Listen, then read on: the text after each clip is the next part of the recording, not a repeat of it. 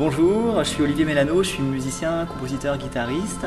Euh, je suis à Travelling cette année pour trois choses. La première, c'est un nouveau ciné-concert que je crée ce soir à l'Opéra sur euh, un film très étrange qui s'appelle L'heure du loup de Ingmar Bergman, un film de 67, euh, voilà, assez, assez dingue. demain, je serai à l'étage du Liberté avec mon projet solo qui est trio en ce moment, qui s'appelle Melanoise Escape. Voilà. Et dimanche après-midi, je serai au TNB avec euh, mon premier ciné-concert que j'ai créé en 2004 sur l'aurore de Murnau, qui est le plus beau film du monde selon pas mal de gens. Euh, pour une recréation euh, exceptionnelle pour le festival